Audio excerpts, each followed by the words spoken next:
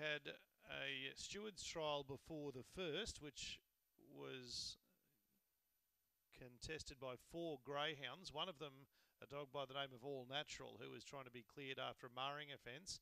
It recorded 10.19, 11.94, and I'm sure that'd be a track record if it was in a race, 22.13.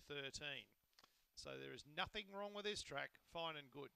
Standing by, the favourite the red here in the first.